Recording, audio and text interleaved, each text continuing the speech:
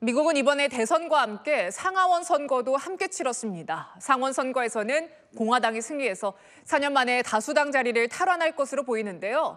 하원은 막판까지 치열한 접전이 이어지고 있습니다. 조민기 기자입니다. 미국 공화당이 연방 상원 선거에서 최소 51석을 확보하며 과반을 달성했습니다.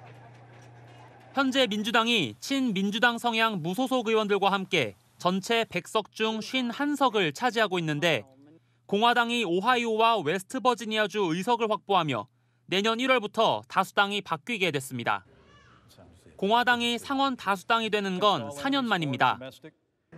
We have taken back control of the Senate. Wow, that's good. 임기가 6년인 상원의원은 임기 2년의 하원과 달리 한꺼번에 선출하지 않고 2년마다 3분의 1씩 뽑습니다. 34명을 선출하는 이번 선거에서 공화당은 현역 의원 선거구 11곳을 모두 수성할 것으로 예상됩니다.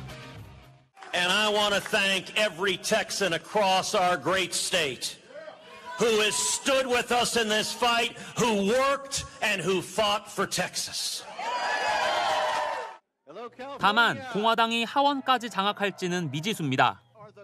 435명 전체를 새로 뽑는 하원 선거에서 공화당과 민주당 모두 과반인 218석에는 미치지 못하고 접전을 벌이고 있습니다. 공화당이 상하원을 모두 석권할 경우 트럼프 후보의 국정 운영에 강한 추진력이 더해질 것이라는 분석입니다. 채널A 뉴스 조민기입니다.